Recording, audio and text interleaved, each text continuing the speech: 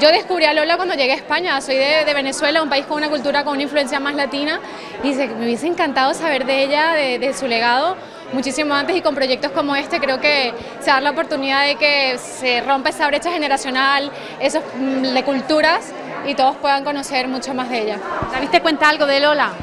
Eh, bueno, sí, y muchos amigos y todo, me he empapado bastante de, lo que era ella, eh, gracias a, a la gente que tengo alrededor. Y bueno, una persona adelantada a su época, con muchísimo arte, eh, de frente que te decía lo que pensaba, eh, con puro poderío y, me encanta. Me encanta conocer de ella y seguir descubriéndola aún más porque estoy segura que me queda mucho por conocer de su trayectoria y su legado que es eh, súper amplio.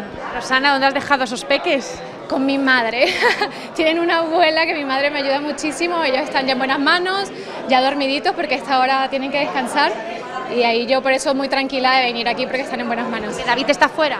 David está en Las Vegas ahorita y le queda ya una semana para terminar la gira y ya volver. Ayer fue el primer cumpleaños de Bianca, su primer añito. No estuvo. No estuvo David, que eso era algo que, que sabíamos que, que nos iba a doler un poco, pero bueno, lo bueno es que las redes sociales y la tecnología nos acercan mucho y hicimos un FaceTime, cantamos el cumpleaños ahí a través de, del teléfono y, bueno, estaba presente de alguna manera.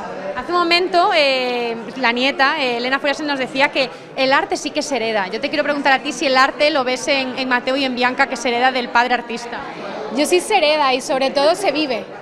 Pues, eh, de repente puedes no tener familia que, sea cantante, actriz, em, y luego convivir con, el arte y se te impregna. Así que yo creo que sí. Mateo y Bianca, no sé si el arte lo habrán heredado, pero el gusto por la música, el disfrute por la música, sin duda sí. Cuando le pones música de su papá, se mueven. Enseguida sabe que su papá, lo primero que dice es papá y a bailar, claro que sí. ¿No escuchan, sabe que es su canción? Sí, sin verlo, solo con escucharlo ya sabe que es su papá. Y dice, papá, y se pone a bailar.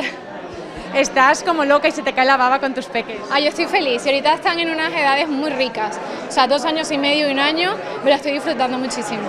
Rosana, que lo sigas disfrutando muchísimo más y que no pierdan el arte. Gracias, gracias.